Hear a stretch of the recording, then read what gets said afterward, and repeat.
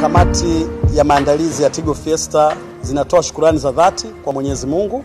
Ah, hakika Mwenyezi Mungu ametuweka hai na salama salmini katika muda wote huu na tunabudi kumshukuru.